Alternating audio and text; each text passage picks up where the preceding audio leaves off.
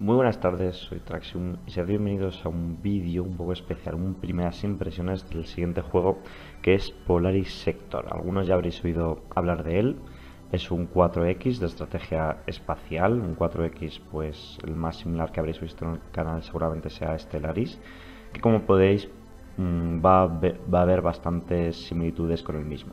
Empezando por ejemplo ahora con el crear la galaxia, que aún así podéis ver que tiene bastante más profundidad en este juego. Eh, como veis podemos elegir unas razas, cada una con sus eh, distintos atributos, etcétera, que los podemos personalizar y elegir una serie de rasgos. Y en este juego va a consistir en dominar el universo, como siempre, eh, seleccionando tú qué tipo de galaxia quieres. me llamó muy buenas impresiones de él, la verdad, me llamó mucho la atención y tengo que meter más caña antes de poder hacer quizá lo que consideraríamos una review, que ya veremos si acabo subiendo, pero bueno, yo creo que este vídeo puede ser bastante ejemplo de ello. he jugado el tutorial y he estado jugando una partidilla por mi cuenta. Mm, quizá ahora me vais a manquear un poco porque está en modo ventana y no funciona del todo bien eh, en portátil, pero bueno, eh, no os preocupéis por eso. Eh, como digo, he jugado el tutorial, yo creo que falla un poco el tutorial y falla un poco el juego, quizá en introducirte al principio como un jugador nuevo. Yo no soy muy experimentado en estos juegos y me sentí un poco abrumado eh, por distintas razones. La primera que no me ha terminado de gustar la cantidad de información que te intenta transmitir el juego ya de primeras. Eh, muchísimo texto que está bien, mm, o sea, mm, indica por ejemplo que tiene un mundo muy rico, bueno, un mundo, un universo, ¿no? Muy rico, que han creado buenas historias, que han creado, que tiene una profundidad todo, que al menos todo parece tener una razón y tener una profundidad pero quizás eh, es demasiado eh, texto, demasiada información de golpe. De hecho, el tutorial no para de bombardearte a textos. Y a mí me gustaría quizá eh, que hubiera sido pues en varias fases el tutorial, que sí que es verdad que es en varias fases, pero quizá más distribuidas, más larga cada fase, que te dejase ir traseando un poquito más. Me ha parecido un poco, un poco agobiante, pero bueno, te enseñan lo básico y si tienes paciencia para leer, eh, lo puedes entender sin ningún problema. Eh, como veis, eh, se sitúa en una galaxia ¿no? en la que hay constelaciones, por así decirlo, dentro de las que vamos, bueno, sistemas más bien, dentro de las que vamos a tener bastantes planetas. estos planetas son colonizables o no, va a depender de nuestra raza y de los atributos que ésta tenga y de las tecnologías que tengamos investigadas. Y vamos a poder ir a ir colonizando. De hecho, la colonización es muy sencilla y podemos automatizarla. Un detalle que me ha gustado mucho, que se vayan creando las naves de colonización directamente, aquí lo hago de forma manual. Eh, bueno, no sé si lo estaréis viendo, si el vídeo de fondo será simultáneo a mi voz, pero bueno, eh, lo hago de forma manual, pero se puede automatizar y de hecho puedes orientar el, planeta colonizado de varias formas. La primera sería eh, microgestión, que es que lo vas gestionando tú como, como el planeta principal, por así decirlo o puedes ir eh, dándole órdenes a la IA, dándole ciertos comportamientos. Pues si quieres orientar el, planeta a un planeta agrícola para que produzca comida y así eh, tu imperio no se muera de hambre, porque tienes una población, como podéis ver por allí, y esa población come. Y bueno, le podéis poner a trabajar más o menos horas, por ejemplo. Bueno, pues podrías estrenar un planeta agrícola exclusivamente a producir comida. Y en este sentido lo puedes destinar también a investigación, por ejemplo, algo equilibrado, que sería un poquito de todo. Eh, a la extracción de minerales también, si no recuerdo mal. Estoy haciendo todo un poco de cabeza. Así que ese detalle me ha gustado mucho. La exploración es muy sencilla también. Tienes eh, varias naves de exploración y con el... Simplemente entrando... perdón, estoy un poquito resfriado. Simplemente entrando en, un, en una galaxia eh, en un sistema solar, por así decirlo, sí, sistema estelar, eh, ya se te van a descubrir automáticamente todos los planetas. Haciendo una comparación con Stellaris, para que os hagáis idea, no tienes que ir eh, investigando individualmente cada cosa.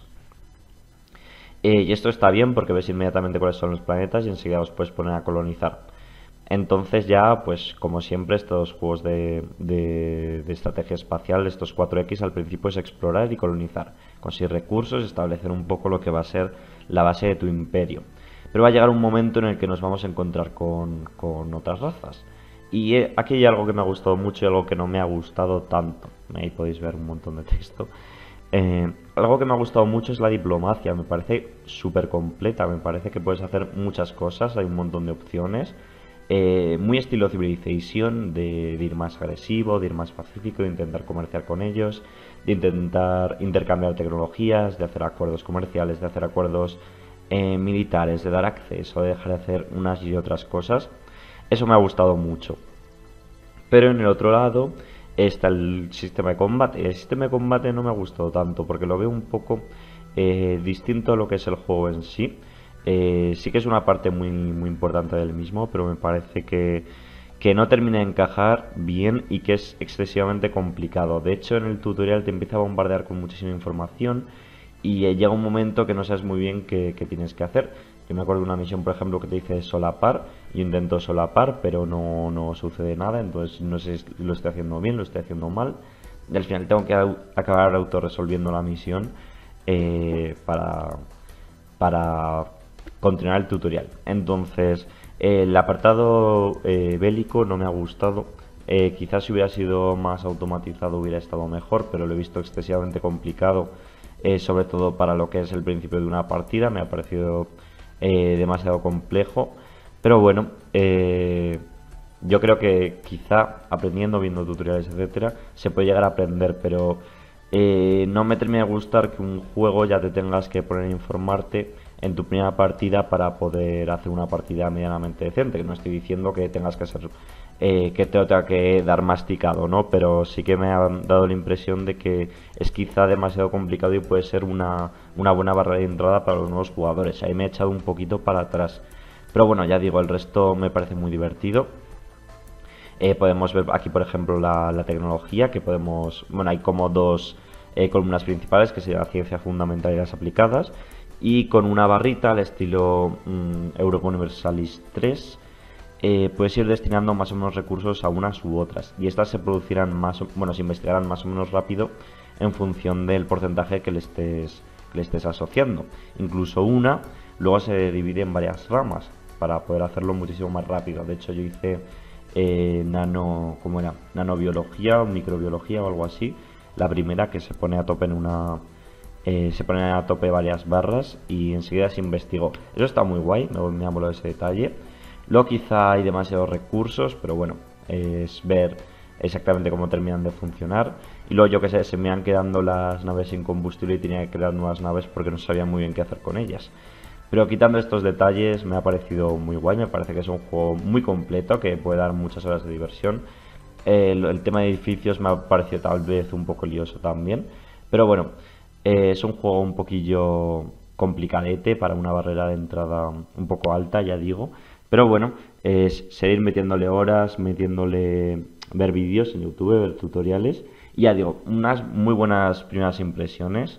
Eh, me, llevo, me llevo una muy buena sensación de este juego de Slither Games, aunque creo que está asociado con Matrix Games o algo así, porque bueno, luego lo pones en Google y no termina de aparecer de quién es el juego, no termina de estar claro, pero bueno, Entiendo que son más o menos la misma empresa que, bueno, me han, me han dado la, clave y agradecérselo eh, el darme esta oportunidad de echarle un vistazo al juego.